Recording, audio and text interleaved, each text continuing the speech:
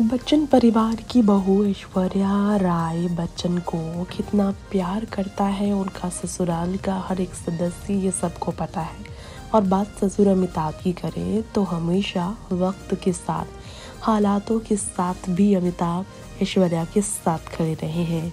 चलिए सुनाते हैं इसी से जुड़ा एक किस्सा, जो ऐश्वर्या के लिए अमिताभ के दिल में खास जगह, बहू के लिए ससुर के दिल में खूब सारा प्यार को सच साबित करता है।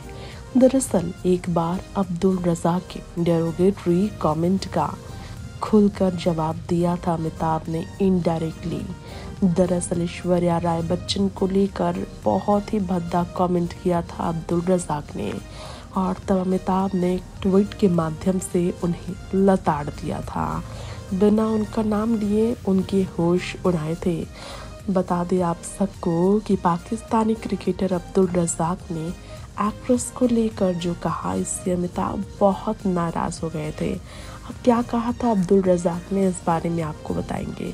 उसके बाद अमिताभ के ट्वीट आपको पढ़ाएँगे, जो कि अब्दुल के कमेंट के ठीक बाद आए थे। पाकिस्तानी जर्नलिस्ट अब्दुल रजाक से पूछे, पाकिस्तान के परफॉर्मेंस को लेकर जो आईसीसी वर्ल्ड कप 2023 में हुए। अब्दुल रजाक ने मेंशन किया योनस खान को लेकर कि उनका इंटेंशन अच्छा था, लेकिन कॉन्फिडेंस चाहिए था ज़्यादा अच्छे परफॉर्म करने के लिए। तभी उन्होंने एड्रेस किया पाकिस्तान क्रिकेट टीम और उनके पुअर परफॉर्मेंस को देखते हुए कि इंटेंशन किसी का नहीं था पॉलिश करने का और स्किल को डेवलप करने का जो पाकिस्तानी प्लेयर्स के अंदर है। तभी उन्होंने डिसरेस्पेक्टफुल कमेंट करते हुए कहा, सिर्फ़ ऐश्वर्या राय से शादी करके हम गुड और पायस के तो नहीं ला सकते हैं। और ऐसा कहकर उन्होंने हैरान किया।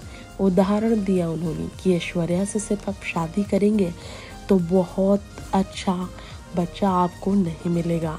जी हाँ योनस खान के इंटेंशंस गुड थे। कहना था ये अब्दुल का, लेकिन खुद को पॉलिश उन्होंने ही नहीं किया था। अगर आप सोचते हैं, सिर्फ़ ऐश्वर्या से शादी करेंगे आप तो आपके पायस और अच्छे बच्चे होंगे, ऐसा कभी नहीं हो सकता है। ऐश्वर्या राय बच्चन को लेकर अब्दुल के कमेंट के बाद अमिताभ बच्चन काफ़ी बुरी तरीके से भड़क गए थे।